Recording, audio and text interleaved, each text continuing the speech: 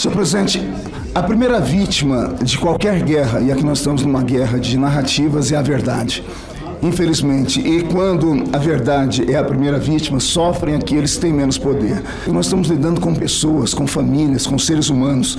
E eu acredito que taxá-los de golpistas é muita crueldade.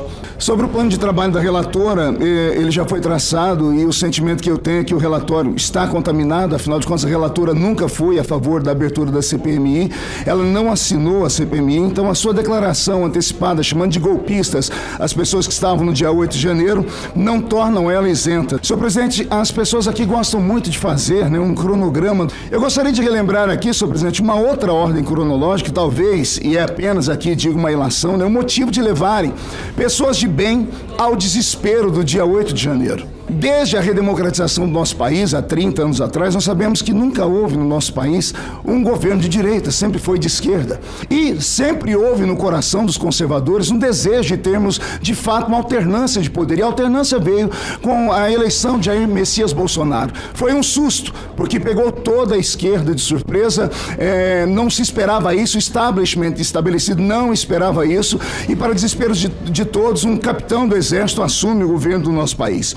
O povo estava agora respirando ares de esperança nessa história. Em 8 de 4 de 2020, começou-se toda uma luta contra Bolsonaro. O STF, por exemplo, garantiu em 8 de abril de 2020 autonomia para os estados e municípios que adotassem medidas de isolamento social, que era contra o que foi determinado pelo governo federal. Em 29 de abril de 2020, o doutor Ramagem, que está aqui do meu lado, foi impedido de assumir a diretoria geral da Polícia Federal.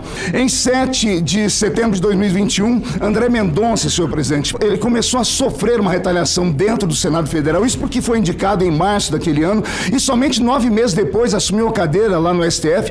Em 3 de março de 2022, o STF decidiu, por exemplo, manter a demarcação de terras indígenas com a FUNAI, proibiu o governo federal de monitorar servidores.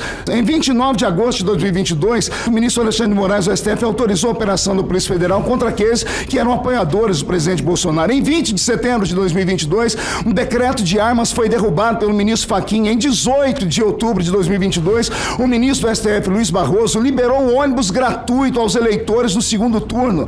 Mas a Lei 6.091 de 74, no artigo 11, diz que isso é crime. Senhor presidente, 900 mil presos no nosso país, mais 600 mil aguardando julgamento. Organizações criminosas proibiram bolsonaristas de pedirem voto nas comunidades e um salvo geral foi passado para todos, dizendo que era para votar no outro tipo de candidato. Senhor presidente, retiraram de trás das grades um condenado de três instâncias por vários juízes para ser um candidato do então governo que aí está.